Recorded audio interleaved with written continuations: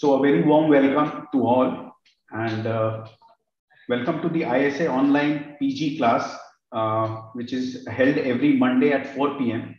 And this is the 17th in the series of uh, these online PG classes in which uh, there are stalwarts from the country who come and present on topics of uh, importance uh, for all the postgraduates. And today is no different. It is a very important class today for two reasons. One, because this topic, I, I think no postgraduate uh, will be going through an exam without any question being asked from the topic that we are going to discuss today. And secondly, we have a very uh, eminent uh, speaker, Dr. Saikat Sengupta. A very warm welcome to you, sir. Uh, sir, we'll be discussing. Thank you, Nishant the anesthetic considerations in a cardiac patient for non-cardiac surgery. So, th so that is a very important topic for today. Uh, the plan of action is that uh, sir will be presenting his uh, presentation and during that time, uh, uh, all, all the audience will be muted and they can ask their questions in the chat box. Once the presentation is over, we can discuss all the questions that have been asked in the chat box and then I will unmute all I am Dr. Nishant Sahai. I'm additional professor in the Department of Anesthesiology at AIIMS Patna, and it is my proud privilege to, uh, to co-host uh, the session for today. So, uh, introducing Dr. Uh, Saikat Sengupta, sir.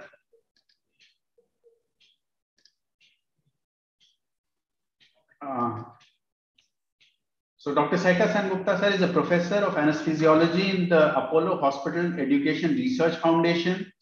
He's a senior consultant, Apollo Multi-Speciality Hospital in Kolkata, and uh, chairman of the chairman of the Kolkata Anesthesiology Academy. He's an MD and a DNB, and uh, various uh, as fellowships from various other institutes. He has a number of publications in peer-reviewed journals, approximately 61, and you can see there are more than 16 chapters in textbooks.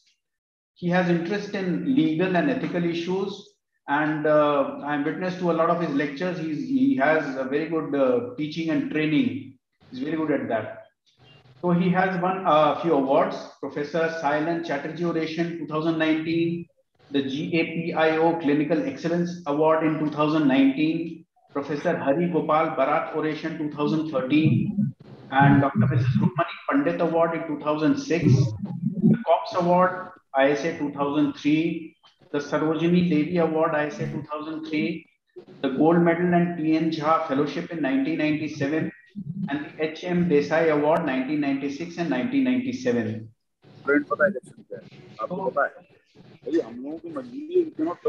Nishant, I also formally welcome uh, Dr. Saikat Sengupta for uh, uh, sparing his time for today's class on uh, anesthetic considerations for a cardiac patient scheduled for non-cardiac surgery. And I'm very sure all the delegates uh, will be enriched by his experiences and teachings. Uh, over to you, Dr. Saikat Sengupta, please.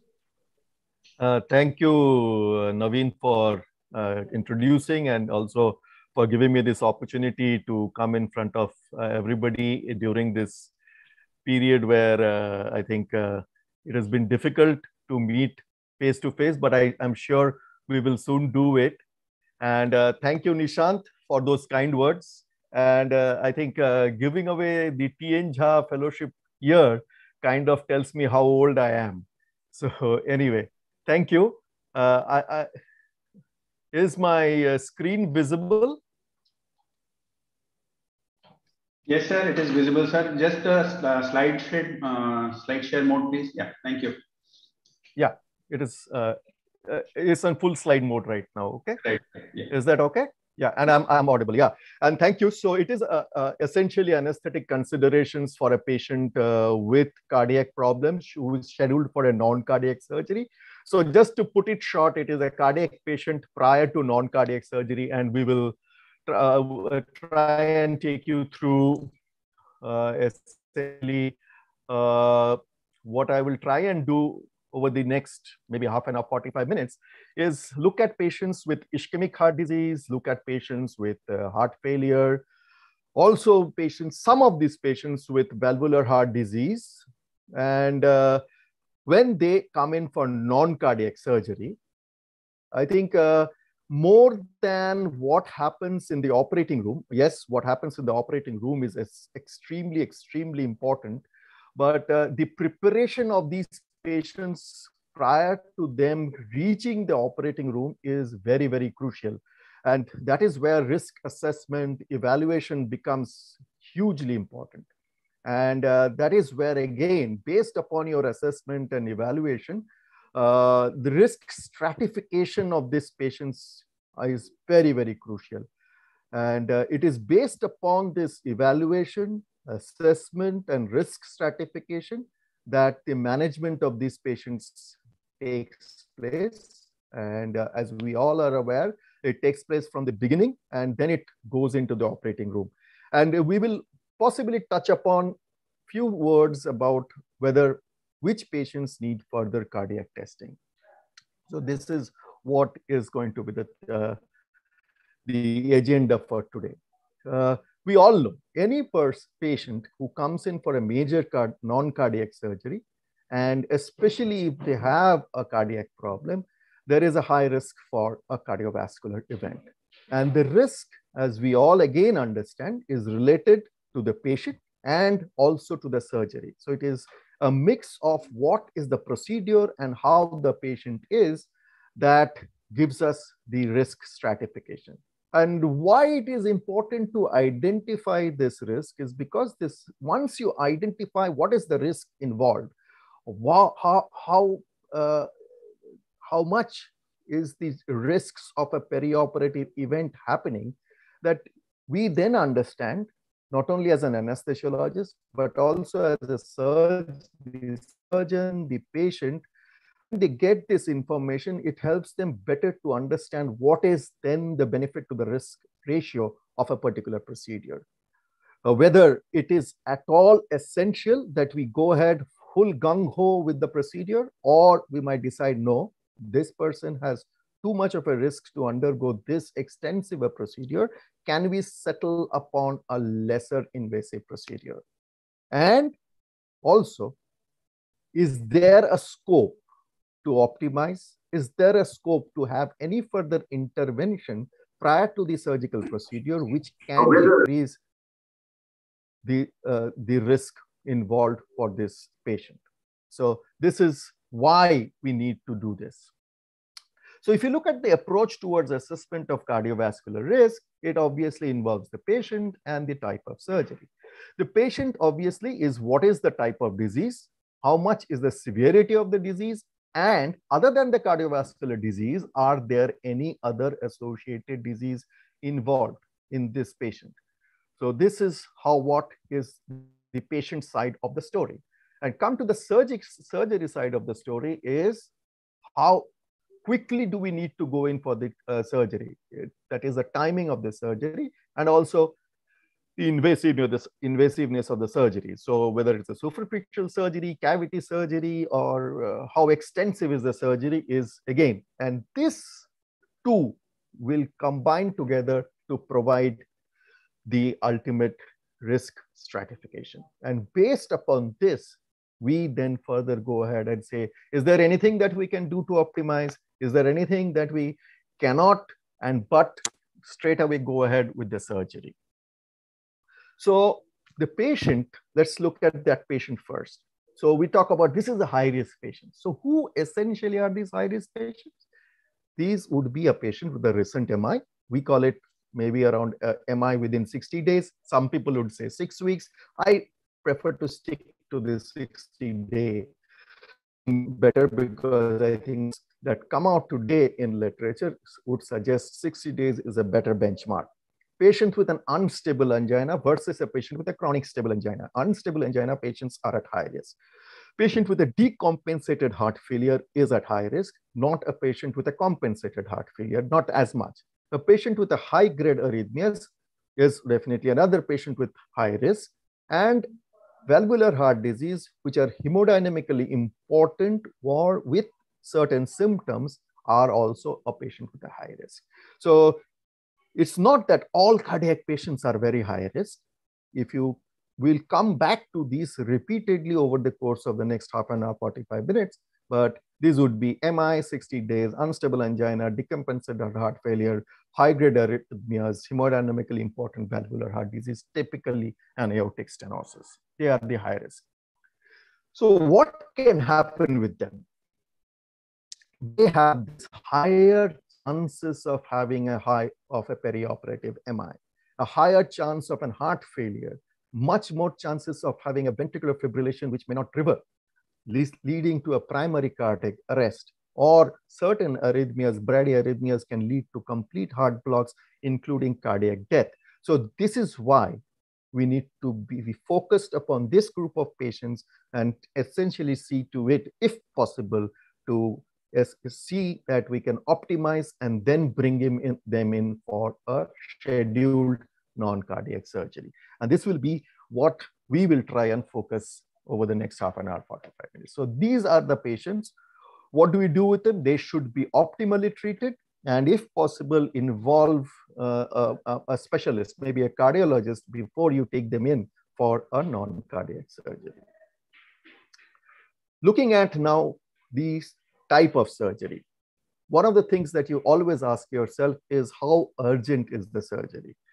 Uh, like uh, this is typically that I have picked up from the ACC AHA uh, executive summary or the guidelines for patients with cardiac uh, uh, ailments for a non-cardiac surgery. Emergency surgery would be something within six hours, urgent between six and 24 hours. Most of you realize of our surgeries are time sensitive that they, you can delay them, but you possibly cannot delay them beyond one to six weeks. There are few surgeries, maybe like say an arthroplasty surgery or a plastic surgery, which are truly elective, that they can be delayed up to one year. Rest of it, if you look at it, most of our surgical plans or procedures are within this time sensitive area, if not the urgent and emergency area.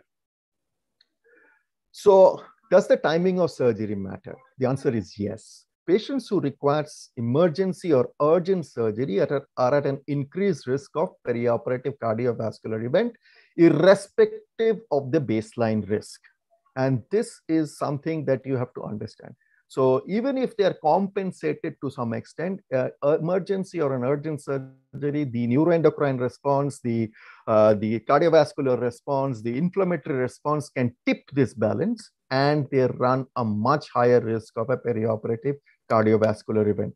And this is why it needs to be understood very well and categorically that elective surgery cohorts, the risk indices that they give may not be accurate for an emergency or an urgent surgery because they would provide a different estimate of and a minimal risk, whereas for emergency or urgent surgery, it is a much higher risk.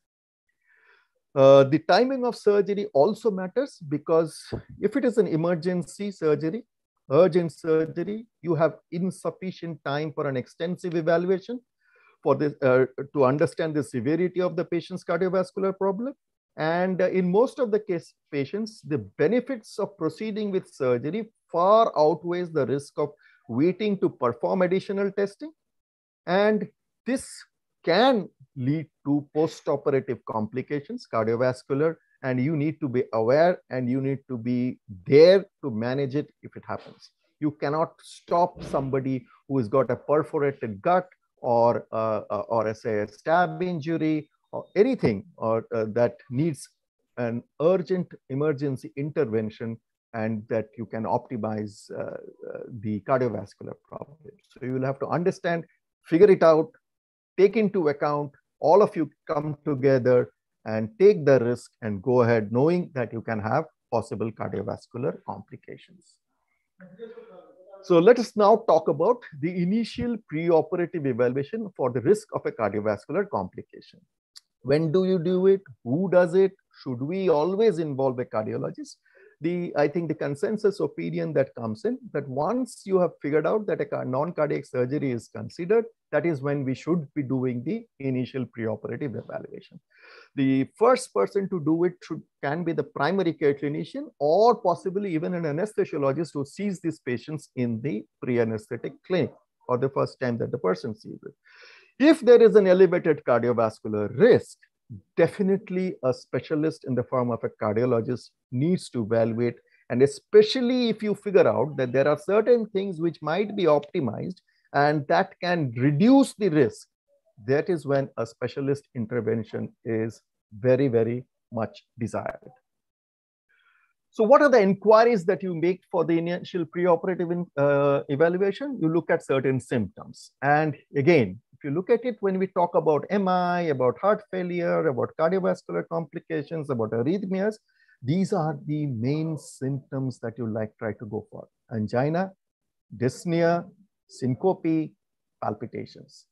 If I have a patient who comes to me with one of these, I will have my wits around me and figure out why is this happening? Is there something that can be done to reduce this symptomatology?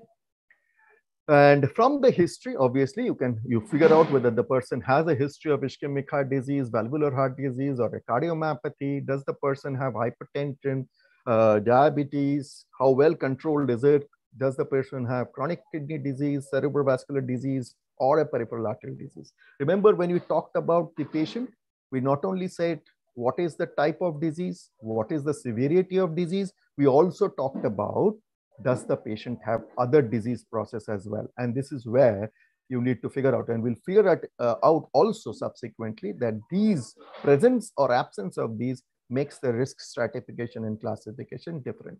So does it have, uh, does the person have diabetes, chronic kidney disease, a cerebrovascular disease, or a peripheral arterial disease? Uh, blood pressure measurements, you do it normally, auscultations of the heart and lungs, abdominal palpation, ex examination of the extremities edema, that is what it would be normally, but these are the things, again, that should raise the red flags. Do I find anything from the examination which would suggest heart failure, a gallop, uh, uh, uh, basal crepitations? Do I see a raised JVP? do I hear any murmur which, are, which is suspicious of a significant valvular heart disease? So again, these are things that from the clinical ex examination, which should raise an alert. Other than these, this is one thing in cardiovascular system that you try to evaluate well, which is the functional status or the functional capacity. And most of you would be aware of this. This is uh, represented in metabolic equivalents, uh, one MET being 3.5 ml per oxygen uptake per kg per minute. And a person who can kind of do four METs of activities is thought to be doing well and is a good prognostic indicator. And you have, uh, I think, uh, the entire uh, table or chart which is easily available and somebody who can climb a flight of stairs or walk uphill or a level ground at a speed of around three to four miles per hour, but which is essentially around five to six kilometers per hour, you would think that this person is has a good cardiopulmonary reserve. And uh, forget about uh, uh, 10 mets or playing active sports, etc., etc. So these are things that we have relied upon and uh, it is only beyond 2018 that people have started questioning is how reliable is this MET score as a tool for functional assessment? Uh, it's after this Wijeysundera publication in the Lancet, and uh, which is called the METS 2018 study. And they kind of tried to compare cardiopulmonary exercise testing with the Duke Activity Status Index and looking at also uh, biochemical markers like serum NT-proBNP concentration and trying to predict death or complications after major elective non-cardiac surgery. Uh, what they find found out is this just subjective assessment with METs had a very poor sensitivity. Whereas if you looked at the DASI scores, they were far better with predicting the primary outcome, that is major cardiovascular complications. And uh, they, the, the results that they showed, if there was a person with a DASI score of less than 34, it was definitely associated with an increased 30-day death myocardial infarction or moderate to see, uh, uh, severe complications. Obviously, CPET was far superior, but at least if you're looking at it, a more objective way of looking at it with a DASI score was possibly better.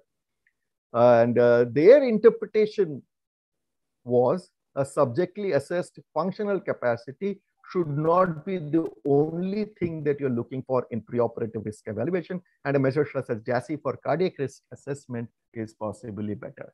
So this METS 2018 study has made a lot of us kind of rethink and possibly uh, have a relook at the way we look at patients in the preoperative period to risk stratify. I'm not saying, but the, the study never, neither I nor the study at any point of time said that you do not do a functional capacity assessment. You do not look at MET scores. The, yes, it is a good thing to do, but uh, maybe to be even more accurate, uh, the thing that you can look for is a DASI score. And remember that DASI score or the Duke Activity Status Index score is the points that are used are the same things that are used to give the MET scores. So if you look at it at like, like, like walking a block or two on level ground, you would say that he has a MET score of around two or three, isn't it? Climb a flight of stairs or walk up a hill, you say that huh, the, the MET score is four, but then the DASI score gives you 5.5. So once you then calculate what is given on the right hand side, you find out that, yeah, if the DASI score is around 30, 34, yes, this person definitely has a MET score of more than four and is very unlikely to have a major cardiovascular event in the perioperative period. So less confident, and they're saying that you can possibly change your practice in looking at a more objective way at looking at the functional capacity. Uh, the uh, models that has been suggested, we'll come to that one by one later on, are the ones that have been used for a long, long time, the revised cardiac risk index.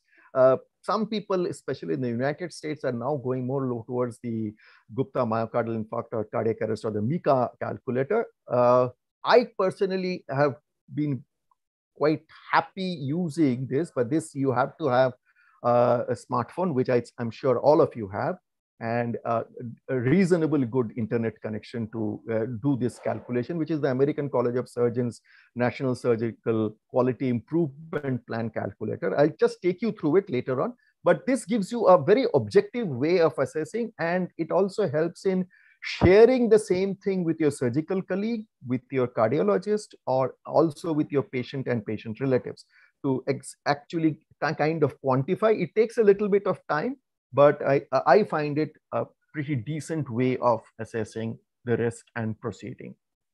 So the so they will take this all these risk factor models, whether it's MICA, RCRI, or NSQIP, uh, would take into account the surgery specific risk, the ischemic heart disease part, the heart failure part, the cerebrovascular, DM, diabetes mellitus, uh, serum creatinine, and also it takes into like the, uh, which is why I kind of like the, uh, the ACS uh, kind of risk calculator is because it takes into it things like age, the ASA physical status, the preoperative functional status, uh, biomarkers. And now people are also suggesting that these are being missed in this. And I think, yes, right. There are two other independent uh, kind of uh, markers in the preoperative period which can predict uh, worsened postoperative cardiac performance or cardiac functions and that is atrial fibrillation and obesity. And as we speak maybe maybe in a couple of years down the line one of them possibly will include atrial fibrillation uh, atrial fibrillation with a fast ventricular rate, they will do, they obviously do worse. And a BMI, which is uh, higher, these patients do worse than those with a lower BMI. Uh, surgery specific risk, I think this has been extensively dealt with by everybody. Uh, what is the risk of a major adverse cardiac event?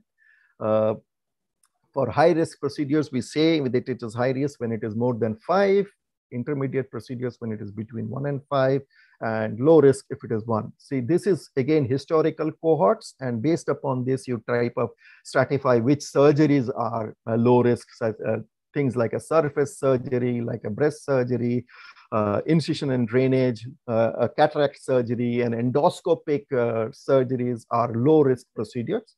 Anything between one and intermediate risk procedures would be uh, anything like uh, possibly uh, cavity surgery like a laparoscopic cholecystectomy uh, would be intermediate. Uh, more invasive kind of a surgery, uh, whether it is in head and neck surgery or, or a thoracic surgeries or a major vascular surgery, suprainguinal vascular surgeries, they go into the high risk procedures, which is more than 5%. So I think this is again well described in most texts. Uh, surgery specific risk, I think we have gone to this and discussed this previously. I'll reiterate. Emergency surgery is associated with uh, particularly high risk as cardiac complications are two to five times more likely than elective procedures. Uh, the risk or the adverse perioperative cardiac event in validated models take include information from the history, the physical examination, the ECG, and the type of surgery. And uh, the purpose of this assessment is to help the patient and us, the anesthesiologist, the surgeons, the cardiologist, to weigh the benefits and the risk of surgery and optimize the time of surgery. And it at times ha it has been shown that even the pre-anesthetic assessment is the first time that certain uh, undiagnosed pr uh, problems are uncovered. So again, which calculator to use will be your personal preference. RCRI, the revised cardiac risk index has been used uh, extensively over the years. And as I said, the uh, American College of Surgery uh, risk calculator is the one that I personally like. And I think just to reiterate, most of you would be aware of this, is that uh, what are these six independent predictors of major cardiac complications as was devised, uh, uh, elaborated by Lee and the Lee revised cardiac risk index is the high risk type of surgery like again, vascular surgery, open intraperitoneal or intrathoracic surgery. Any person with a history of ischemic heart disease, history of heart failure, history of cerebrovascular disease, diabetes mellitus requiring treatment with insulin, or a chronic kidney disease uh, defined with a serum creatinine with a creatinine level greater than 2 milligram per dl. So these are the six independent predictors of cardiac risk index. And when we look at the RCRI scores, we try to figure out whether they have how many of these that the person has. Is the person undergoing a high risk type of surgery? Does the person have ischemic heart disease, heart failure, CVA, DM with insulin, creatinine? So based if they have none, they would be zero. If they have one, two, three, four, five, whatever, six. So they can have that.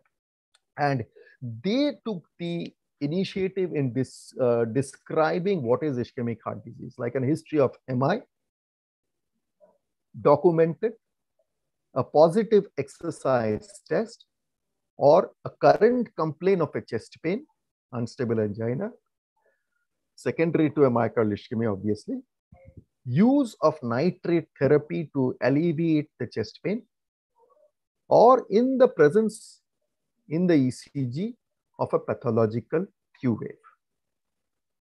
So this, if they have, as I said, MI, positive stress test, chest pain, nitrate therapy, pathological Q waves, some people have added, and I possibly would like this, is that if they have documented and from an angiogram uh, anatomical lesion, you say that the person has a history of ischemic heart disease with some symptoms. What they also say is if the person has undergone a coronary revascularization, whether it is a PTCA stent or a CABG, and now does not give you a symptom of a chest pain, neither on nitrate therapy, good exercise tolerance, there is a case of not considering this persons to be having ischemic heart disease anymore. So it was for ischemic heart disease that they underwent the therapy, but you should not be counting them unless they have symptoms that are being suggested to be counting them as ischemic heart disease. And uh, based upon this, if they have no risk factor, the risk is of a surgery uh, MI, pulmonary edema, ventricular fibrillation, primary cardiac arrest, complete heart block is very, very low. Whereas if it is three or more, the risk is around 10%. Whether it is even from the Devereaux study, if three or more, they said it is less, less. And remember, this is uh, this is happening a lot after the Lee study, which means uh, management of these patients have got better, which is why the, uh, the complication rates have possibly gone down. So what these models provide is uh, it quantifies the risk objectively and it gives you in percentage, which is easier for us to kind of tell us, tell or kind of communicate the same to the patient and their relatives. So if you look at it again, there have been several, uh, the Lee derivation, the validation, the Devereaux ones, the Davis six factor, all kind of will tell you, kind of give you a similar thing that if the risk is three or more, this person's, uh, you have to really be careful about the risk assessment stratification and the way you effectively communicate this same risk and what you want to do in the in, uh, perioperative period in the OR, how you want to manage them, where do you want to uh, care for them in the post-operative period, and uh, uh a lot of things will matter based upon this uh, Lee's revised cardiac risk test. And described in the 90s, but still very, very valid in 2021. Add to this the type of surgery. If you see this, uh, uh, the uh, risk factors, one, two, or three, or four, and you add something like an abdominal aortic aneurysms, even with a single, the risk factor is higher. Whereas when they have more than three risk factors, the, the, the, the chance of a major cardiac complication goes significantly higher, up to 12%. Whereas in a possibly surface surgery or an orthopedic surgery, the risk comes down, as you can see on the right of your screen. This is something that uh, I kind of like. And this is the uh, screenshot or the snapshot of the, uh, the, the home page of this surgical risk calculator from the American College of Surgery. So what it does is it will tell you to put in certain things that you know about the procedure and of the patient. So you can put in what is the kind of procedure. It comes from a drop-down menu the age, the sex, the functional status, is uh, the timing of surgery, what is the ASA class, uh, whether the person is on certain therapy like steroids, whether the person is a smoker, dialysis. So it takes into account a lot more factors than what the revised cardiac risk index does. Is the person uh, ventilator dependent? Is it for a malignancy? Does the person have a previous cardiac event? And from all, once you put in all these data into this from the drop down menu, it then gives you uh, a kind of ballpark figures that this is the risk of serious complication, this is the risk of a cardiac complication, this is the uh, risk of a renal failure that can happen, and uh, whether it is within the uh, average or it goes outside the average. So I find it, it's easier to communicate to the patient, to the relatives, the cardiologist and the surgeons to identify what is the seriousness of the disease process for the particular procedure that this person is undergoing. And uh, you can take out a report and do it. Uh, so if at the end of this uh, particular session, if you can uh, go back to this and figure out how you can do it, I think I'll be happy that at least there has been some take home message that I've been able to percolate down to you. Uh, so now, after having all this, whether the MICA or the ACS risk evaluator or the revised cardiac risk index, would it influence your patient care? Yes, it does. If you think that the patient is at low risk, which is less than 1%. And if the person is not going in for a high risk procedure, then this person possibly would not need any further testing. But if the patient is at a higher risk, then you ask the question whether further cardiovascular testing will change management and hopefully improve the outcome. I think this is again that we talked about initially is there a scope for optimization? Is there a scope of making the patient better and so that the chances of a cardiovascular complication in the perioperative period is lower? That is what we are trying to do. It is not just for the sake of doing a testing, but will it change the outcomes? Will it change the way I manage these patients in the perioperative period? So the reason to perform this additional testing will just not for the desire, uh, desire of lowering the risk, but also the long-term risk. You just do not want the person to tide over the surgery, but so that in the long run, maybe in the 30 day, 60 day, maybe on the six month, one year uh, time frame, they do better. And uh, this is one of the mantras that all guidelines tell you is that additional testing is to be done irrespective of the need of surgery.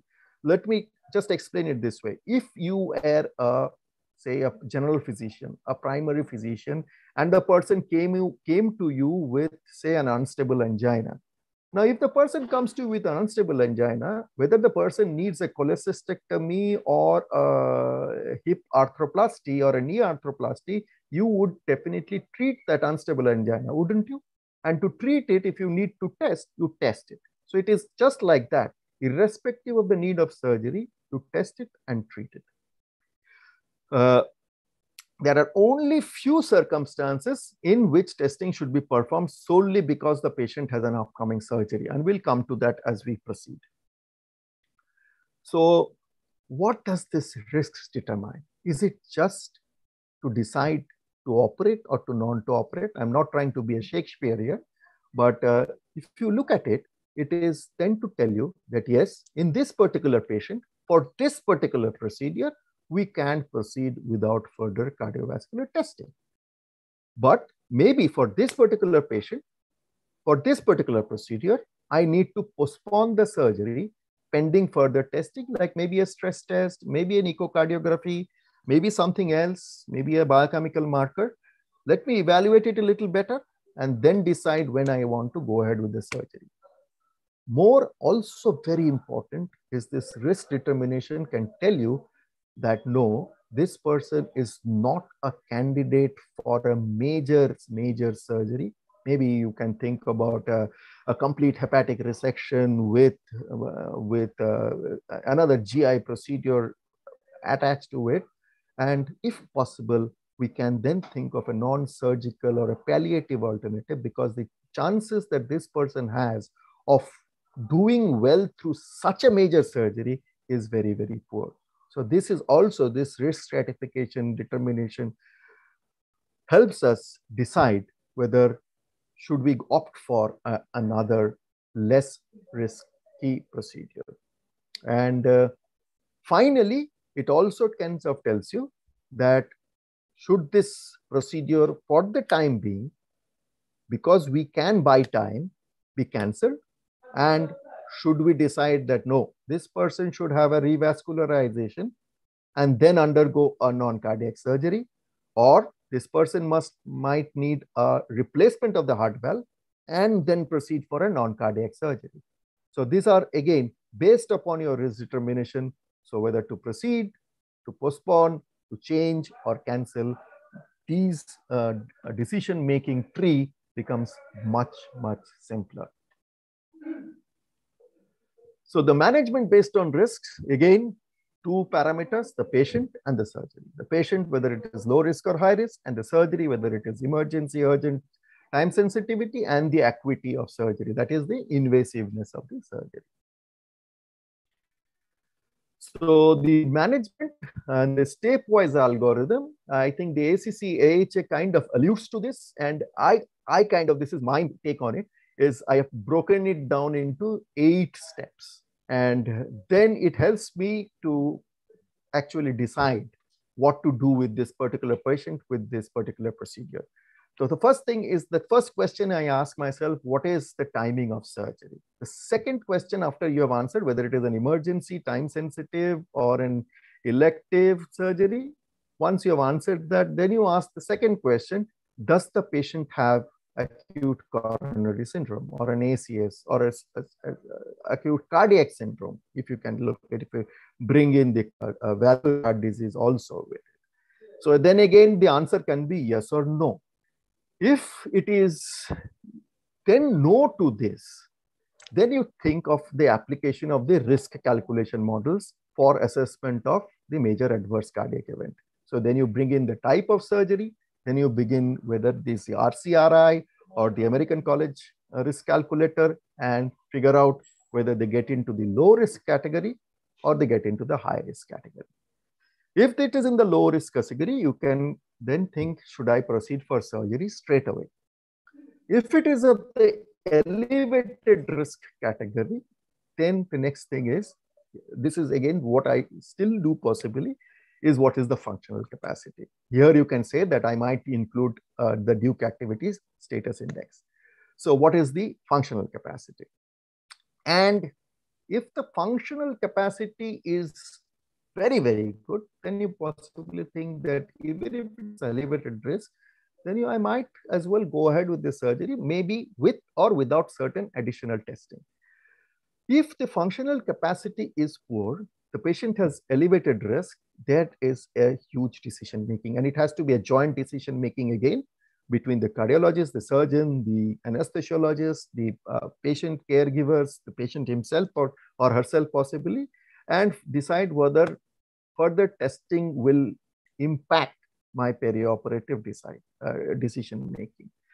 So maybe whether I can do a coronary angiogram and figure out, maybe if I can figure out whether uh, uh, the, this person is a candidate for uh, revascularization, whatever. And then I then decide if it is not so, then accepting those risks, we go ahead for the proposed procedure or the proposed surgery with this same goal-directed medical therapy. And if it is, you think that it will opt for revascularization replacement, then you obviously do it and then go ahead for the proposed surgery. So this is one thing that I have found it easy, step-by-step, algorithm-based, completely taken from ACC and to how to proceed with a person with a cardiac problem coming in for a non-cardiac surgery.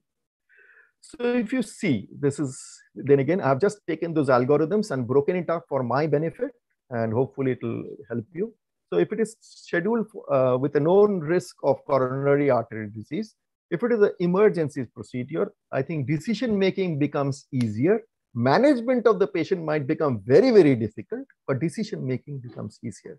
So you go ahead with the surgery. So if it is a perforated uh, abdomen or it is uh, trauma, bleeding, or an uh, intracranial surgery, you, you don't have time to do anything else. So you clinically risk stratify, proceed to surgery, hemodynamic goals, extend your intraoperative management into the postoperative period and hope for the best and try and see that they do well. If it is not an emergency surgery, you ask yourself the question, does the patient have an acute cardiac syndrome or acute cardiac problem? Does the patient have uh, failure? Does the patient have angina? Does the patient have uh, an arrhythmia which needs to be addressed? Or does the patient have a hemodynamically or a symptomatic valvular heart disease? And uh, uh, if the answer to that is yes, it will be different you obviously stabilize and then proceed for a non-emergency surgery. But if it, the answer to this is no, though this person doesn't have maybe has a chronic stable angina with a past history of failure, with an atrial fibrillation with a good ventricular rate, or uh, uh, the person has a valvular heart disease, but it's not symptomatic. Then you, based upon the, again, the risk calculators, estimate the perioperative risk based upon the clinical condition of the patient and the surgical procedure. So if it is a low risk, it can be low risk or it can be elevated risk. If it is low risk, you possibly then think, no, I possibly be good enough without further testing to proceed for a non-cardiac surgery. What happens if it is the person has a acute cardiac syndrome? Then as I said, irrespective, somebody, as I said, unstable angina with failure or with or without failure, uh, AF with a fast ventricular rate, a symptomatic valvular heart disease, irrespective of the person coming in for laparoscopic cholecystectomy or an appendectomy or an arthroplasty, you will just like you would have done it otherwise, evaluate, treat according to goal-directed medical therapy. Once you have assessed, evaluated, and optimized, then proceed for this non-cardiac surgery, estimating the perioperative risk combined clinical and surgical. If it is elevated risk, then look at the next thing, look at the functional status. It can be less than four. If it is greater than four, you are reasonably happy. If it is more than 10, you are even happier. So if it is more than four and 10, this is again, this is the ACCHM, which will tell you no further testing and proceed to cardiac surgery. This is again, in my opinion, this is where a little bit of individualization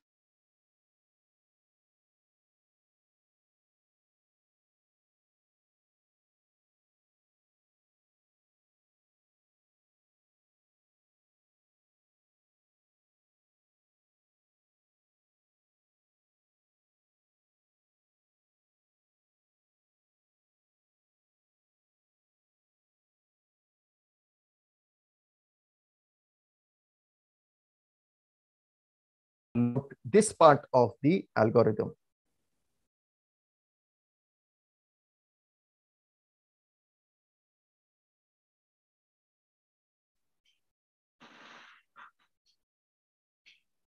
Sir, I think we've lost connection.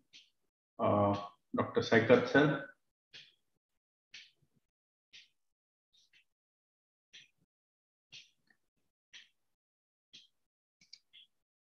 Yes, uh, yes, you are back, sir.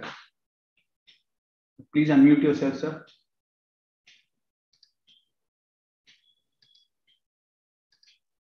Uh, please unmute yourself, sir. You're muted.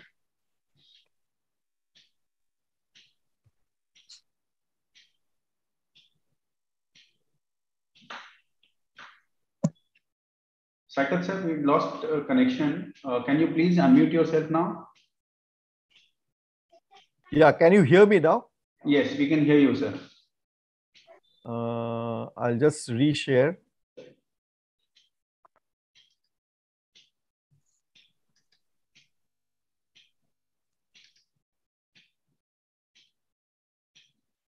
Can you uh, can you see my screen now?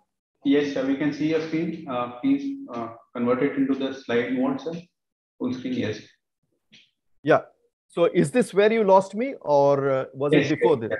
We want you. You mentioned that it is your opinion that it should be more individualized. Correct, correct. So, so then uh, I think this is where you lost me. Yeah. So sorry about this. Uh, uh, this is, I think uh, Naveen and I were discussing about this, uh, the, uh, the, uh, the internet connections, which are so variable. Anyway, sorry about this. So this is where again, and then proceed for surgery. Whereas if it, the MET score is poor, less than four or unknown, then this call needs to be taken much more seriously whether you need to do further testing to which can impact uh, decision making and perioperative care. So will it impact or will it not impact? If it will not going to impact, if you uh, like, let's put an example that uh, uh, you have somebody who has uh, a compensated uh, cardiac condition with a low ejection fraction. Now uh, and no symptoms per se with a low functional status coming in for possibly uh, hip or knee arthroplasty surgery. The question that you can ask is will doing a dobutamine stress testing or a pharmacological stress testing will doing a coronary angiogram and then possibly not acting on it on a 78 year old impact my perioperative care. And this is where I, which I also subscribe to is that if it is so, then I would possibly look at targeted goal directed medical therapy, ensure that the heart rate is under control, ensure that my blood pressures are under control, all the uh, my and also the patients, and um, also maybe the oxygenation status and looking at uh, trying to have uh, things which can manage the neuroendocrine stress response or the inflammatory response to the minimum and proceed. And if I think that I cannot, then you possibly have to decide on alternative strategies. And uh, if you think that no, yes, I should be doing something and it can influence my decision making, the first thing that you can do is a pharmacological stress testing, which is typically true. And this algorithm, remember, is for an patient with an ischemic heart disease. So you do the pharmacological stress testing. The common is that you do is a dobutamine stress test. So if it is normal, then it gives you more confidence possibly to proceed with the surgery with a gold, but keeping into mind the principles of goal-directed medical therapy and uh, and going it. And if you think that you cannot, then you have to think about uh, alternative strategies. If the pharmacological stress testing is abnormal, then this person and would benefit by a revascularization. So you'll have to take it further, maybe do an angiogram and then do a revascularization, as long as the particular surgical procedure gives you this time.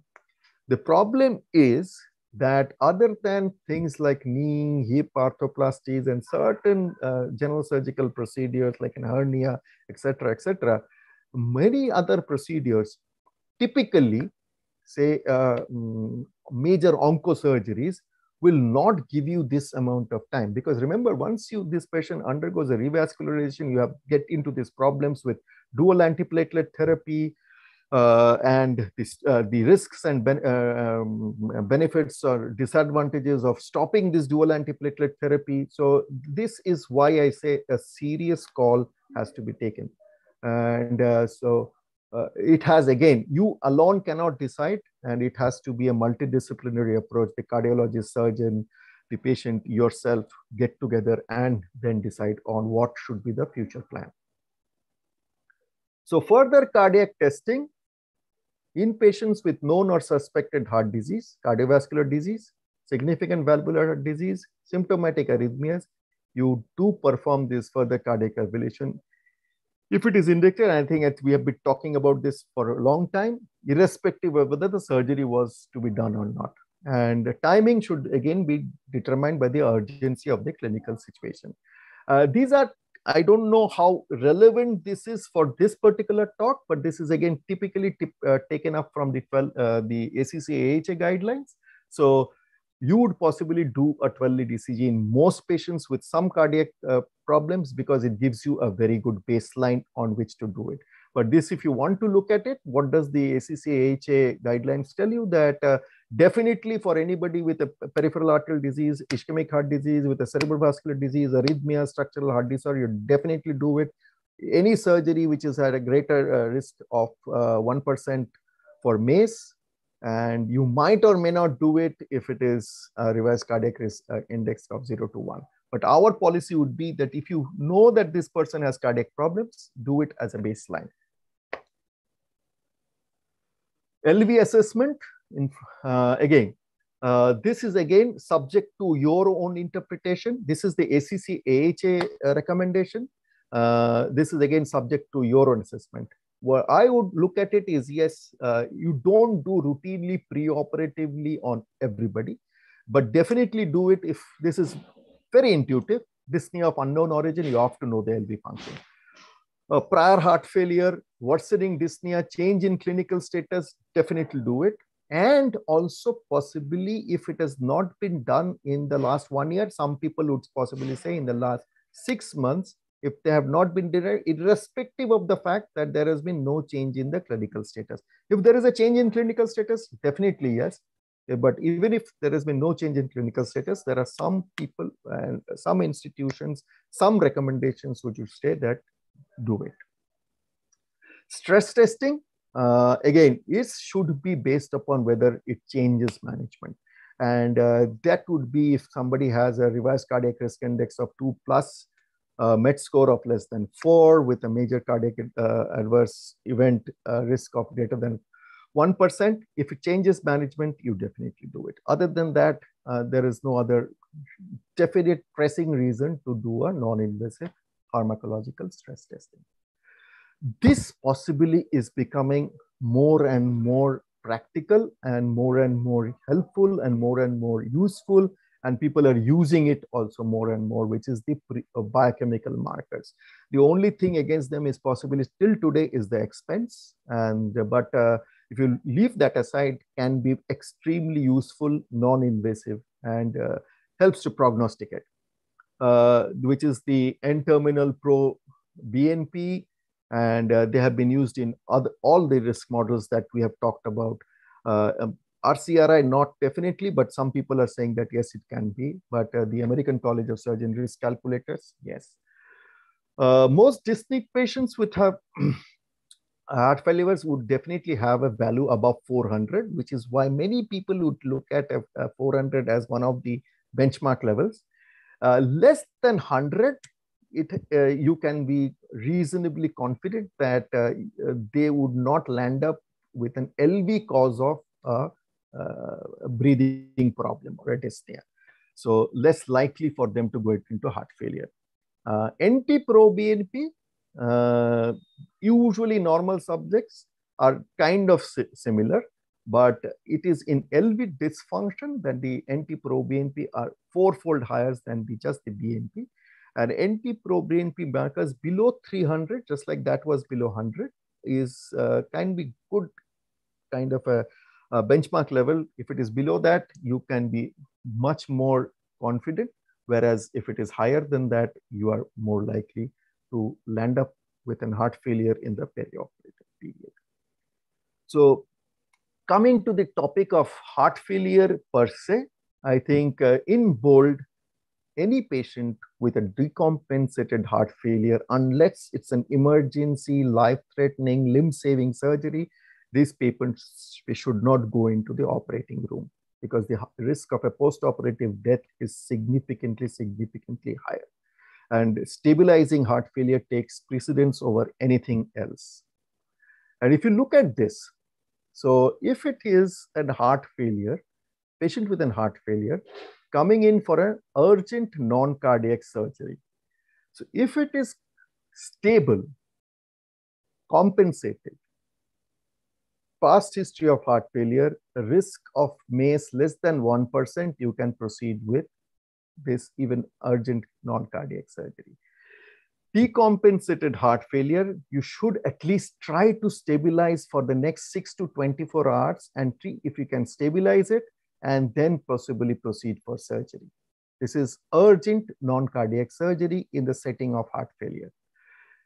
If you could not, then you have, this is a major, major call continue this heart failure th therapy and then it's kind of it's if you're not able to stabilize it essentially becomes refractory you're continuing reassess the risk benefit of surgery if the risk uh, far outweighs the benefit of surgery you have to take a non-surgical uh, alternative if you think that the benefit of surgery far outweighs the risk of a cardiovascular complication like a perioperative uh, uh kind of cardiac uh, adverse event, then you can think of proceeding with surgery.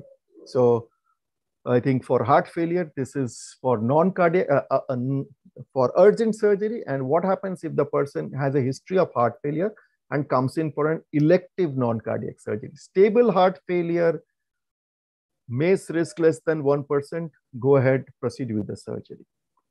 But it is a new onset heart failure, kind of not well compensated, treat these patients for at least three months. Stabilize them, see if their functional status are improving, think about performing additional testing like uh, exercise testing, the six minute walk test or CPET or whatever. Take a good call on the risk benefit of surgery and then proceed. So the, the mantra is, if you have a new onset heart failure, if you have a chronic, not very well compensated heart failure, treat it for three months, see if there is improvement of symptoms, and then proceed for this elective non-cardiac surgery. If it is decompensated, refractory heart failure, continue with it. And again, just like in urgent, take this huge call, again, multidisciplinary figure out whether the risks outweigh the benefit and only then proceed for surgery. Otherwise, consider non-surgical options. So coming from ischemic heart disease, let's look at valvular heart disease. So essentially, if you look at it, it, they could come with a systolic murmur or a diastolic murmur. The systolic is the most common one. You typically aortic stenosis. You can have it for other lesions as well. And if they come with additional uh, complaints of dyspnea, chest pain, uh, uh, elderly with an ECG abnormality, you will be more worried and then think about doing a cardiology consult. A diastolic murmur otherwise is always pathologic. and this, if you get a diastolic murmur, it warrants further evaluation. So it, whether it is mitral stenosis or an aortic insufficiency, which are the common causes, because if you look at it, and patient with a mitral stenosis, and I don't have to tell you again, poses a significant perioperative risk if it is anything more than mild. So stenotic disease, aortic stenosis, mitral stenosis are associated with an increased risk other than, uh, th rather than the regurgitant lesions.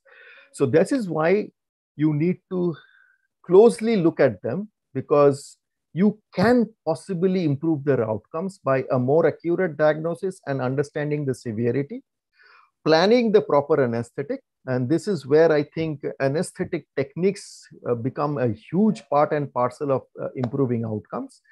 Uh, levels of monitoring that you have to step up, where you are doing the surgery, whether it is at a rural level or at a more uh, appropriate level with uh, uh, better facilities, and how well you can manage them in the post-operative period. If you look at it, this is again the severity of the stenotic lesions have been very well discussed, uh, described by again the ACC/AHA guidelines. Now they can be either symptomatic or asymptomatic. If they're even if they're asymptomatic, they can have a severe decrease in the left ventricular ejection fraction, or they can have a significant abnormality of the valvular anatomy described by the gradient across the valves, whether it is less than 40, greater than 60, or what are the, the, the, the, the orifice surface area as well, or the ejection fraction. And uh, based upon this, this is the, the, the way they have classified. And if they can be symptomatic, they can also have symptom, they can be symptomatic and they can have severe symptoms irrespective of whether the, what is the structural anatomy of the valve, the gradient across the valve, the orifice area, and also the ejection fraction. And why it is important to understand because it helps you to prognosticate the risk and decide upon the future management. So the risk factors is the severity, presence of symptoms, and presence of other cardiac factors like an ischemic heart disease or another lesion like a regurgitant mitral valve lesion. And uh, based upon this, a small risk person, that is somebody with a, a good uh, orifice area, low gradient, good ejection fraction, no symptoms, uh, uh, coming in for a minor surgical procedures, they do pretty well. And if that is high, then you can possibly think of curtailing the procedure and then to improve the outcomes. Uh, the complications that you are worried about is not only MI hypotension, but malignant arrhythmias which are resistant to conventional uh, management and therapy leading to uh, MI and death. Uh, these patients might benefit from non-invasive testing, cardiac catheterizations, initiation of uh, therapies to kind of alter the heart rate. A lower heart rate is preferable, obviously. And some people are now suggesting, even in this group of patients, a preoperative uh, institution of statin therapy can be beneficial. So the uh, decision tree that you get in for a patient with aortic stenosis is whether preoperative valve intervention is indicated prior to this non-cardiac uh, surgery. Uh, moderate risk elective non-cardiac surgery with appropriate intraoperative monitoring and a good ability to do postoperative hemodynamic monitoring is reasonable to do in a person who is asymptomatic, even though structurally he goes into C1, C2, which is severe aortic stenosis. And asymptomatic aortic stenosis without significant coronary artery disease or any other valvulosis are usually do well for a non-cardiac surgeries if they are willing to take the acceptable risk. Whereas, if the person is symptomatic with severe aortic stenosis, postpone elective non-cardiac surgery. The person should have a replacement of the aortic valve, whether it is a surgical or transcatheter, doesn't change uh, much, but uh, they should have replacement of the valve prior to coming in for an elective non-cardiac surgery. The role of balloon aortic valvuloplasty is still uncertain. Come to mitral stenosis. Again, just like aortic stenosis, the severity of the disease has been again decided by the valve orifice area, the gradient, and the, the uh, ejection fraction, and also based upon the symptoms, exercise tolerance, exertional dyspnea, etc., etc. And uh, uh, patients with mitral stenosis who are asymptomatic, not having pulmonary hypertension or atrial fibrillation, possibly do not increase, uh, have any further increased risk going in for a non-cardiac surgery. Notes definitive data, but this is what you would get retrospectively from literature. By comparison, if these patients are untreated and have symptoms like uh, breathlessness, dyspnea on exertion, palpitations, they will do far worse when they are subjected to a non-cardiac surgery. So the goals would be adequate heart rate control, management of the central blood volume, management of the systemic vascular resistance, avoiding marked changes in the pulmonary vascular resistance. This again can be a complete total topic for another PG session, which I'm sure Dr. Naveen and Nishant and other people will take up. Uh, should we do preoperative valvular interventions? The preoperative percutaneous balloon mitral valve is suggested in patients with asymptomatic with severe mitral stenosis, but very importantly with a favorable valve anatomy uh, prior to these people going in for a moderate or a high risk non-cardiac surgery. Now, wh whether it is favorable valve anatomy, you and I will not be able to decide. Uh, the cardiologists are possibly the best people to decide on this, but they would definitely uh, severe MS, even if they're asymptomatic, this is what it is. And uh, if the symptoms, definitely a valvular intervention is mandated. And if they are not having symptoms, not having uh, things like uh, uh, atrial fibrillation with a fast ventricular rate, you can possibly go ahead for uh, moderate risk elective non-cardiac surgery with appropriate intraoperative and postoperative monitoring capabilities. The regurgitant valves like aortic regurgitation or mitral regurgitations are typically better tolerated than the stenotic lesions. So moderate to severe MR, uh, they can be also with increased risks if they have a depressed uh, ejection fraction, has a, if it is the MR is an ischemic MR of origin, other comorbidities, and has an atrial fibrillation with a fast ventricular rate. Similarly, with aortic regurgitation, uh, depressed ejection fractions, they do are more likely to do worse and uh, lack of perioperative medical management, classically anti-failure management. Uh, valve surgery prior to non-cardiac surgery for the regurgitant lesions. So it symptomatic severe chronic primary MR with preserved uh, left ventricular ejection fraction. Uh, asymptomatic severe MR with an impaired LV function, they can be candidates for a valve surgery prior to non-cardiac surgery. But usually, again, the same thing with AR, but usually uh, uh, mitral and aortic valve surgery prior to a non-cardiac surgery is not always feasible.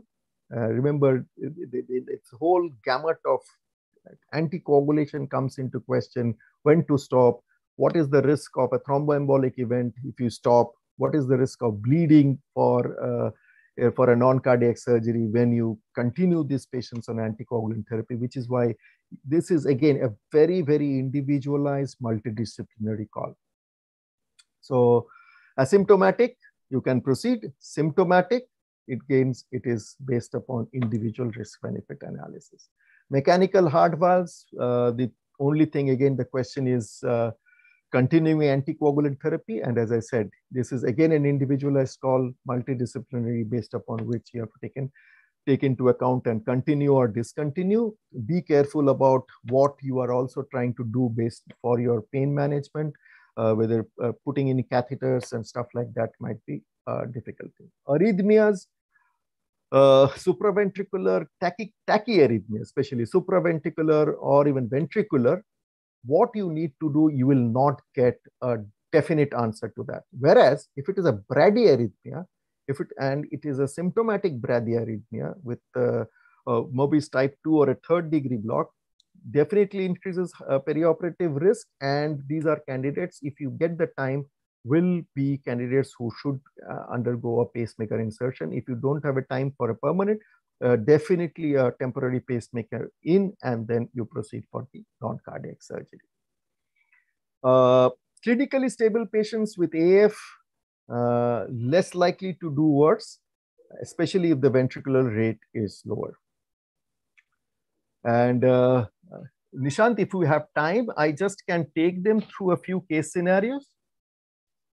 Yes, sir, absolutely. Please do, okay. sir. Okay, so we'll just go through a few case scenarios just to put everything into perspective. So I go back to this stepwise algorithm, which is looking at timing of surgery, whether the person has an acute cardiac symptom and uh, risk assessment for major adverse cardiac event, low or elevated, uh, impact on cardiac decision making about testing and therapy, and let's do it.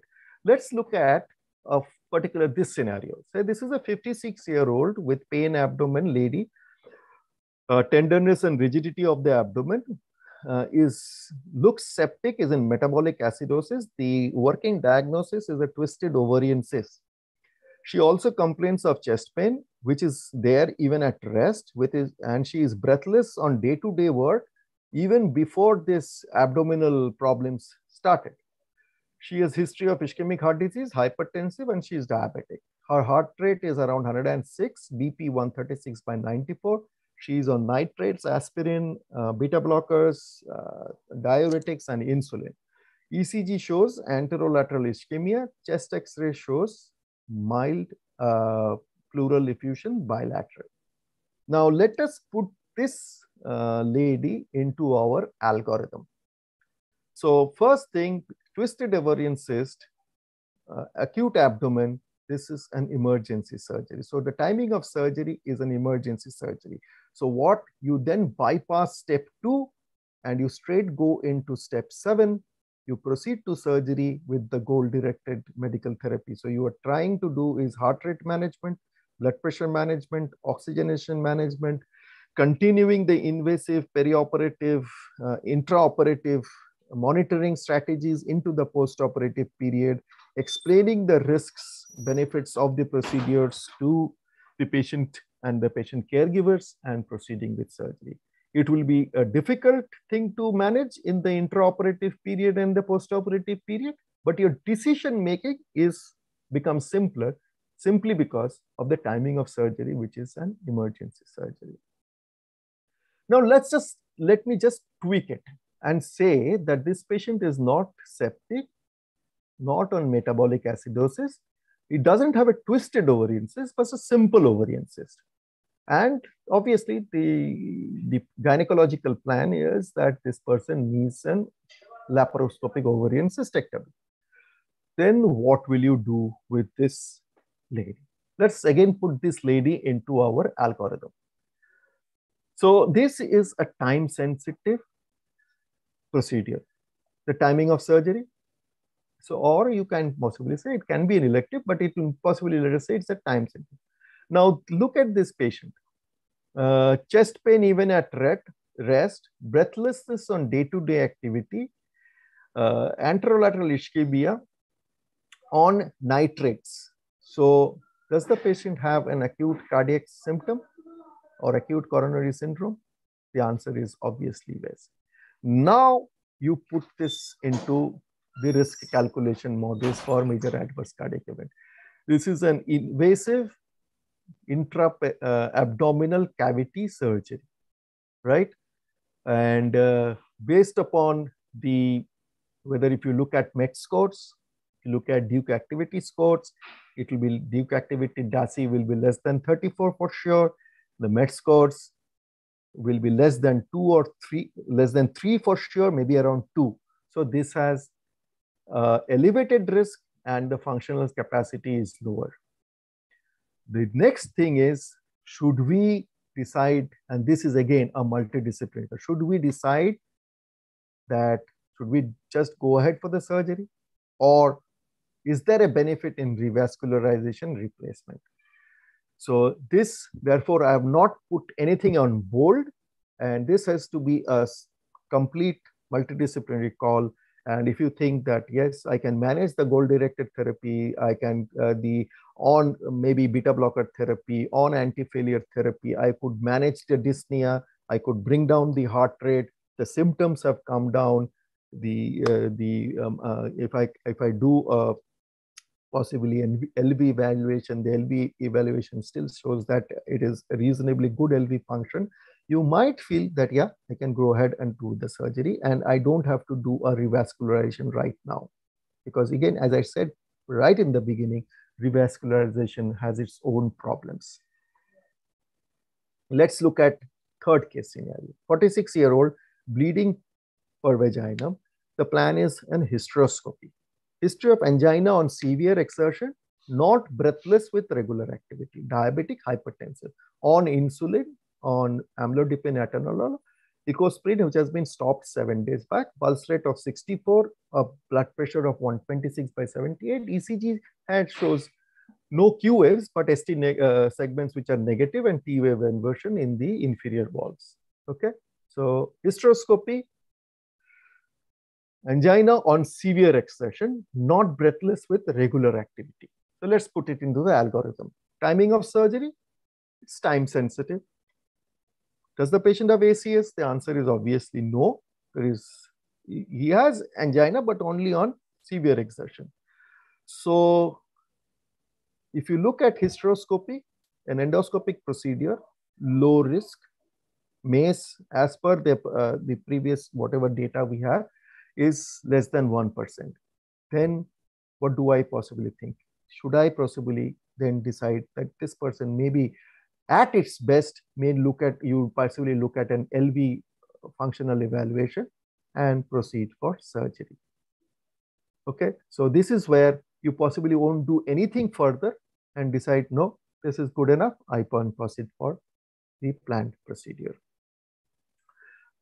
Uh, if this is uh, a fibroid uterus, angina, breathless occasionally, ischemic heart disease, anemia, renal dysfunction on aspirin, clopidogrel, atenolol, nifedipine.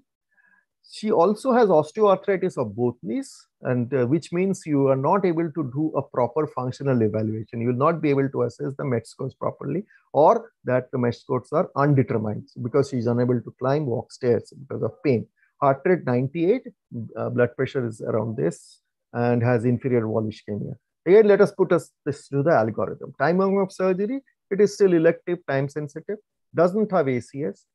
Risk modification, because it's again an invasive surgery, cavity surgery has an elevated risk. Okay. So functional status, I am undetermined. I don't know. If the functional status of this lady was six or eight, I would have thought that yes, with goal directed medical therapy, I will proceed. But since it is undetermined, this is where a pharmacological stress testing like a dobutamine stress testing might be beneficial. You look at it, find it out if you're reason if you're find that yeah there is no provocable ischemia that you're getting from this dobutamine stress, you possibly again can proceed for this goal directed medical therapy and proceed uh, for this invasive uh, for this procedure. So that is about uh, what I had to share with all of you. And thank you for a very patient hearing. I think I will stop my screen sharing and give you back to uh, Nishant. Thank you, Nishant, for giving me this opportunity.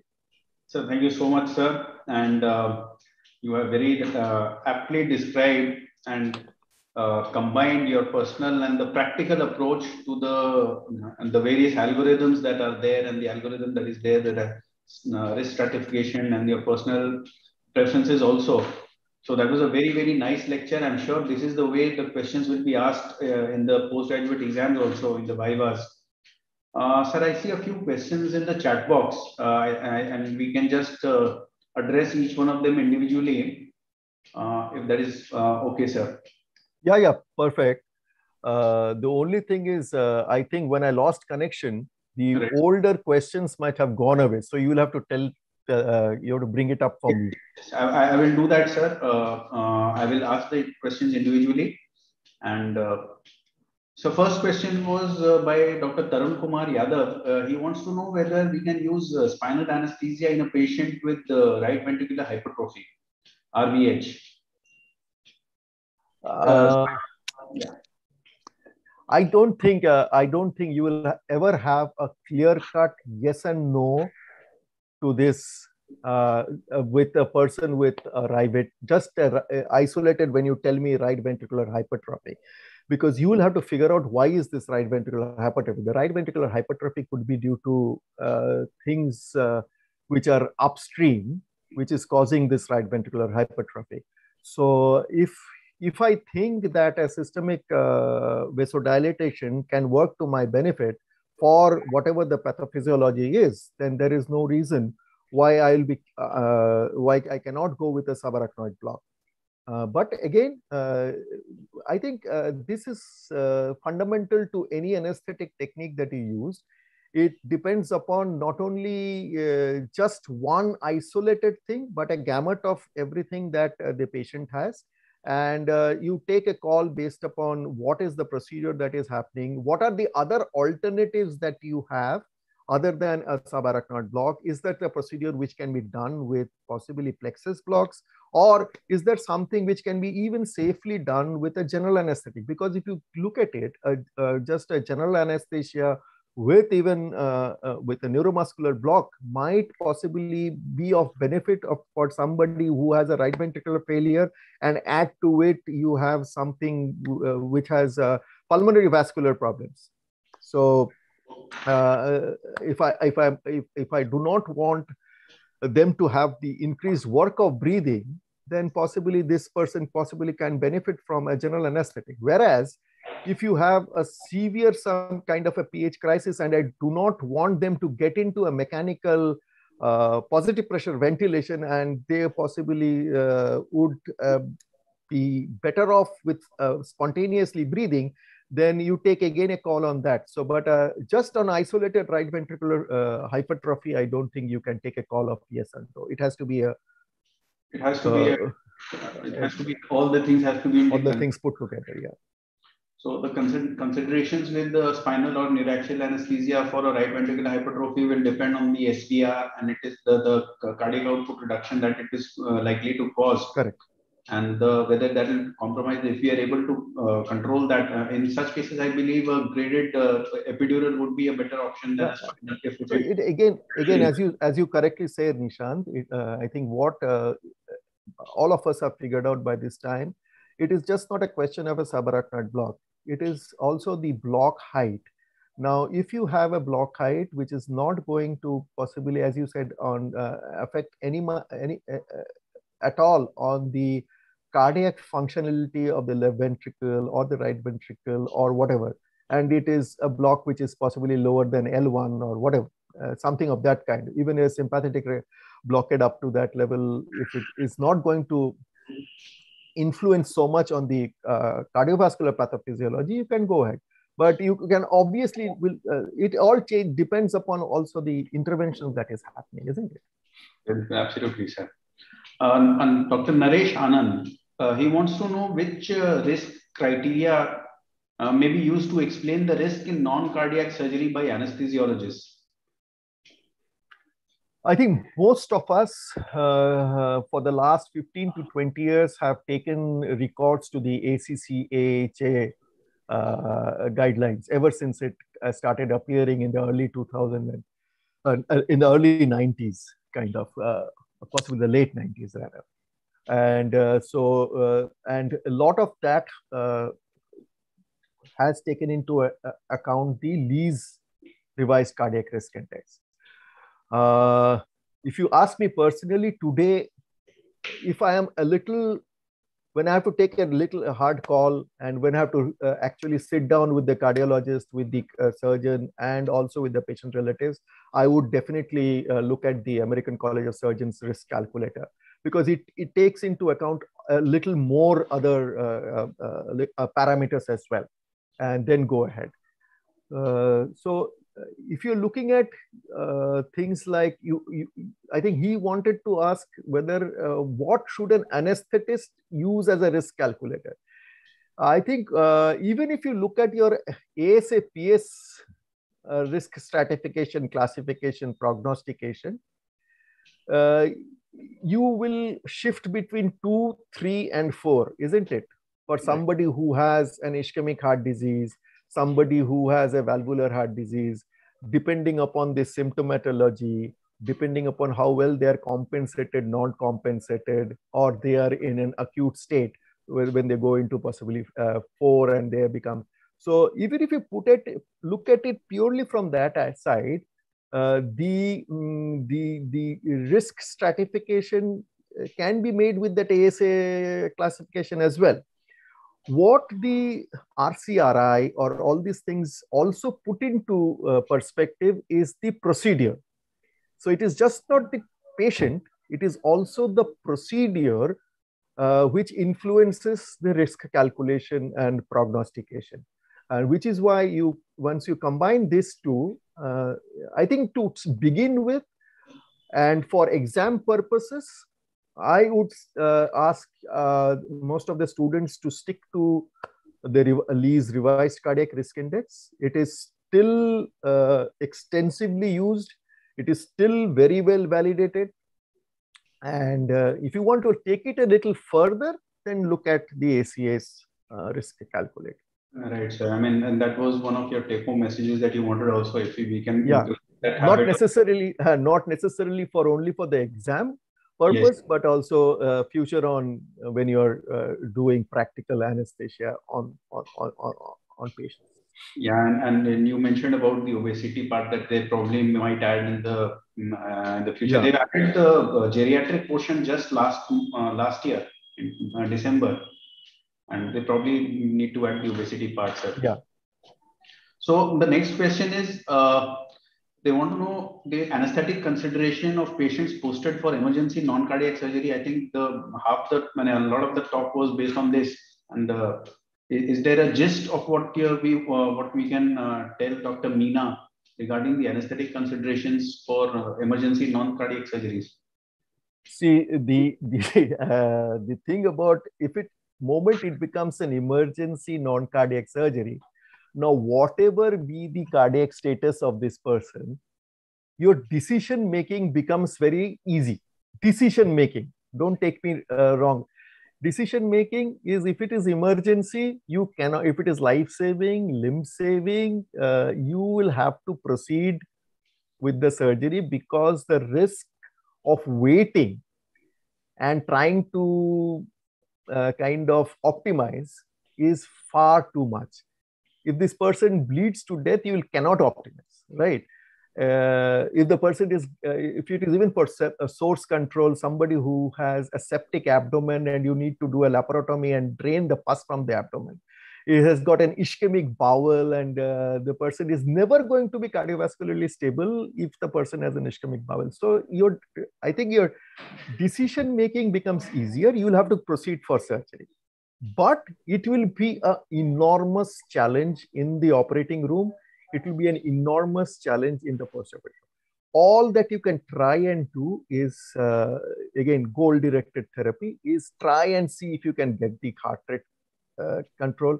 It will be extremely, extremely difficult to keep the heart rate around less than 70, but try and get it down. And uh, this is where again, uh, um, monitoring comes into be uh, uh, question uh, hugely what kind of aggressiveness of monitoring that you and so where are you going to manage this patient in a uh, uh, possibly they will do best in a super specialty care but if you cannot wait for a super specialty care you will possibly have to uh, take bite that bullet and take it in at wherever you are so uh, it's not a great situation to be in when you are in the operating room and in the because it'll be it, will be enormously challenging right. uh, trying to manage the heart rate trying to manage the blood pressure uh, uh but uh, again if the, uh, but, the take home again from this is that whatever needs to be done to maintain a certain mean arterial pressure so whether it is aggressive vasopressor therapy inotropes and, uh, and post-operative, similar kind of care in the post-operative care uh, period, that has to be done. So that will be challenging, and that is the that is the only that is the gist. You will have to go in, accept the risk, explain the risk, and uh, if you uh, and I think for the surgical colleagues as well, uh, that I think everybody now realizes that if you can possibly to do a damage control initially, and then possibly stabilize, and then do a more definitive procedure if possible, if if possible. So Dr. Abhishek here uh, was asking about the class of recommendation for further testing. Uh, what is the class of recommendation 2A, 3B or class 1 recommendation? Oh, I, am so sorry, I, I did not explain this. Uh, uh, you, you see, there is uh, grades of recommendation based upon um, levels of evidence. So uh, these 2A, 2B, 3 are uh, 1, 2A, 2B, and 3 are grades of recommendation. A grade one recommendation is that you will should be doing it. You have to do it in the sense that if you do not do it you are uh, actually going to cause harm to that person. Right. So uh, uh, then it comes the grade 2 recommendation. Grade 2 can be subdivided into 2a and 2b and 2a uh, most persons should be given this therapy because they would do better with that therapy, whether it is with testing or a particular therapy or etc. etc. Uh, so for uh, and uh, and this is based upon category of uh, levels of evidence which comes from uh, uh, level B onwards. So which is supported by a large randomized controlled trial or a meta-analysis. Level 2B is that you can do the recommendation is you can do you may not do uh, there is some benefit that you can do by doing this therapy or doing this testing and obviously the grades of uh, levels of evidence which supports this recommendation is from a little poorer evidence than maybe it could be just a cohort study or a small randomized control not maybe multicentric. And level 3 recommendations usually are just like level 1 was that um, you have to do it otherwise they will do poorly. Level 3 is you should not do it. If you do it you are more likely to cause harm. So that is uh, what explains the uh, grades right. of recommendation. Uh, dr nita wants to know uh, in which patients uh, spinal anesthesia should be avoided uh, in conditions like low ejection fraction whether we should avoid spinal or is there a I don't think again you would get a clear cut verdict on this. Uh, the only thing that you can possibly, as when especially when we were training until uh, whatever, even till date, if you have a person with a tight stenotic lesion with a fixed cardiac output, a person who does not have the ability to improve his cardiac output, these are the patients who should not be given a subarachnoid block. Other than that, again, uh, whether you can give uh, uh, subarachnoid block in a patient with a low ejection fraction, uh, again, it is extremely subjective. The, maybe for, I don't know, uh, there are other examiners over here. Uh, maybe for point of an examination, it is a safer answer to give that I would avoid. But uh, if you are forced to say कि बिल्कुल दोगे ही नहीं the, then, then the answer should be that yes, uh, if it is well compensated, if the cardiac, uh, I know that the LV function uh, can improve or uh, and my level of block can be is low, which is not going to influence. It is not that it is a complete no. But uh, if it is for a tight mitral stenosis, tight aortic stenosis, um, or a, possibly somebody with an HOCM with uh, significant SAM that is present, these are patients whom would obviously not give a subarachnoid. Yes, sir. Even in the exam, I feel, I mean, there is a, uh, there is no, you know, knee-jerk yes or no answer to these questions. Uh, there has to be a clinical background. Probably the examiner will set up the, the set up the child uh, with a clinical set yeah. and then say whether you want to give spinal because whenever so, I, I, I kind of tell is whenever an examiner is asking such a question the uh, examiner is also not waiting to hear a yes or no it is he is also trying to figure out whether the person knows what are the alternatives that uh, he can look at the thought process behind the yes or a no if so uh, uh, uh, uh more detailed uh, description and there's an old ischemia. This Dr. Shailesh Mishra wants to know if there is an old ischemia and the MET is more than four, uh, can we go for subarachnoid block? I don't know what is this fixation towards subarachnoid block. Uh, yeah, if the person has an old ischemia, he's stable, he's uh, does not have symptoms right now. Uh, so met, met more than four can be 10 also. Yeah, it can be 10. So yeah. Yeah, so there's no reason. Be, there's no reason. A more detailed, another uh, clinical setup, sir. A 55 year old male with carcinoma buccal mucosa and the recent echocardiogram shows basal hypokinesia and ejection fraction of approximately 50%.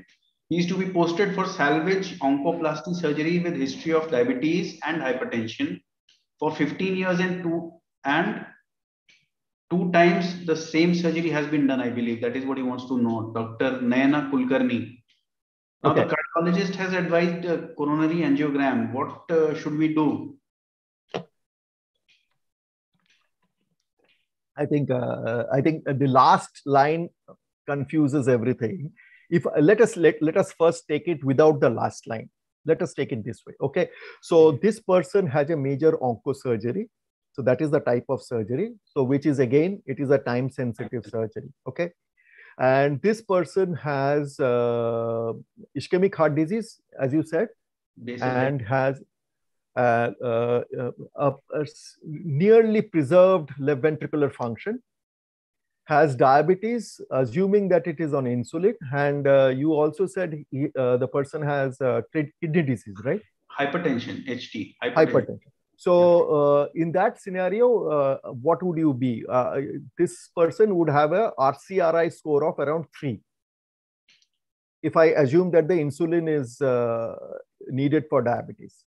Okay, so because it's major surgery, ischemic heart disease, and uh, diabetes, and uh, the uh, MACE would be between one to five percent for sure, definitely greater than one percent.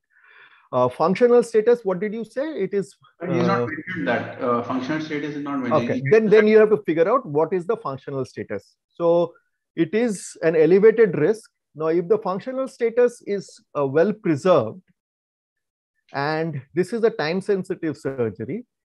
So you do not have the luxury of doing a coronary revascularization prior to doing this procedure, isn't it? Right. So because uh, if you ask most cardiologists, I will do an angiogram, I'll do an angioplasty. If there is a lesion, then I will have to stent it, right?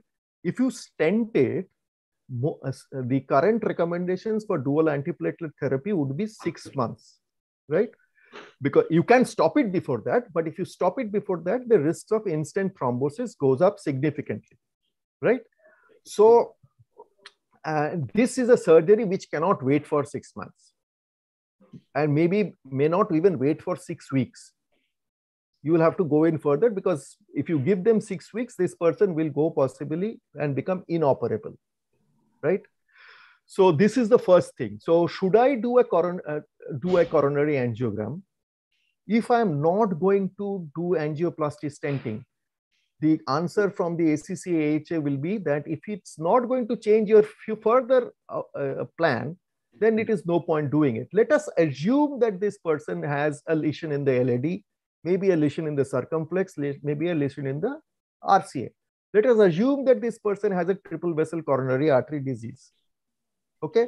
So what will be your management? It still be goal directed. You try and keep your heart rate between 60 to 70, a mean arterial pressure which is above 70, 75. So for that, institute your beta blocker therapy in the preoperative period and do it. Right. So right. that that should be the the kind of plan. Yeah. So they probably have to go and discuss with the cardiologist and. Uh, yeah. The only thing is, if you think that yes the cardiology feels cardiology opinion is that no this person is too unstable should be revascularized. Then you will have to take a real big call as to what should be the surgical plan. Is there an alternative? Is there a palliative plan?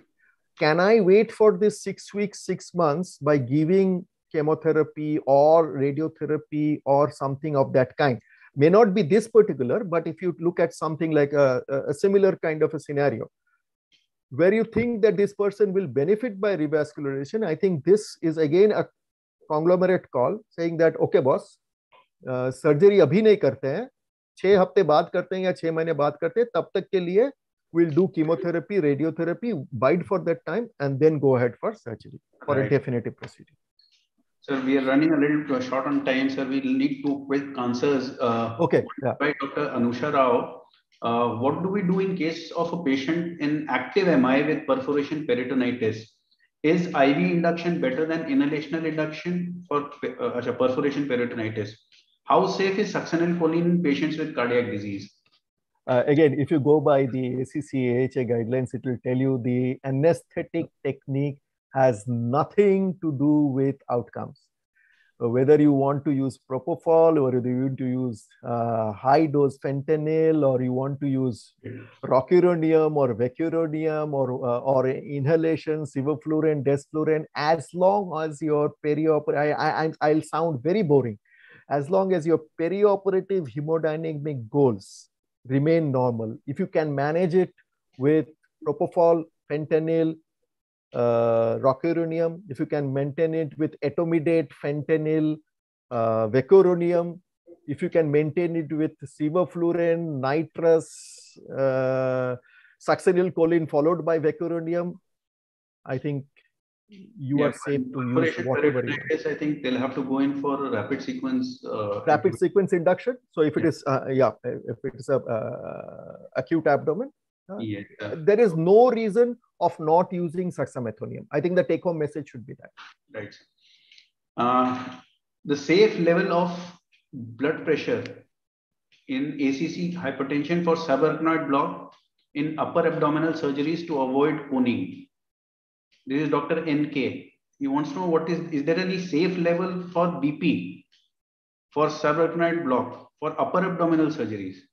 Uh, uh, for, for first and foremost, uh, I would be very reluctant to give a subarachnoid block in a patient undergoing an upper abdominal surgeries. Uh, and safe level of blood pressure, I think uh, safe level of blood pressure is the blood pressure that the person is used to to maintain target organ perfusion. So a safe level of blood pressure in a normotensive would be a mean arterial pressure which is above 60, 70. Whereas in a person with a chronic kidney disease, uh, long-standing CKD, the mean arterial pressures for maintaining target perfusions should could be a MAP of around 80, 90. So I don't think uh, if you don't know the background of the patient, you will be able to tell. And I cannot understand what do you mean by coning. Yes. I, I, I, cannot understand. Nishant, you, is, you yes, might have to help me on there, this. There is no uh, definitive uh, space occupying lesion inside the brain. I don't see how subarachnoid block is going to cause coning in uh, these, uh, these patients. So, uh, and sir, I think this is the last question, sir. Dr. Shailesh Mishra wants to know if the acceptable variation for vitals may be 20% of the baseline. Is, is that the acceptable variation uh, levels, 20%? Uh, yeah, I think yes and no to that. Uh, mean arterial pressures, yes.